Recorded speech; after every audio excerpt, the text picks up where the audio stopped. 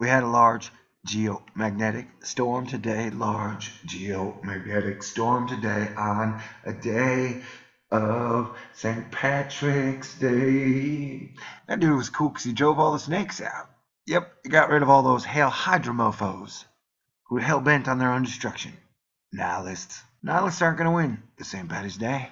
So when we look up into the heavens and we see the signs, you can either say, hey, totally normal.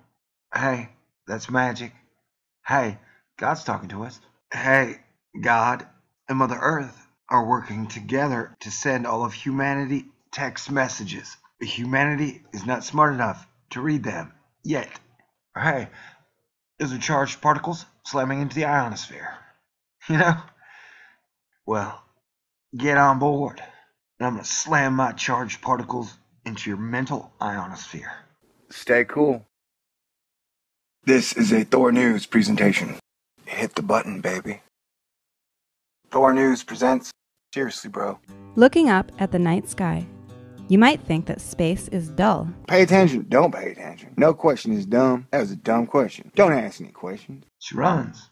The sun shoots out. The sun freaks out. And it shoots a bunch of plasma, charged particles, at Earth, and it hits its ionosphere, magnetosphere, atmosphere. And then wacky stuff happens. And remember, I do believe solar activity is connected to Earth weather. And that solar activity, in the pure scientific sense, is oversimplified. And in non oversimplified terms, the sun has been more active than I've ever seen it. And I've been watching her for a Texas minute, y'all. All right. All right. Here's the deal. Listen up, listen up.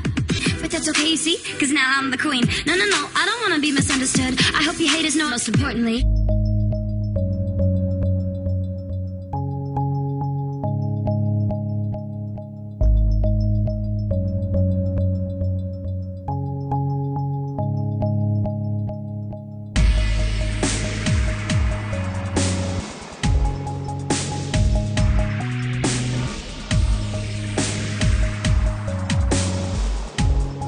Stay cool.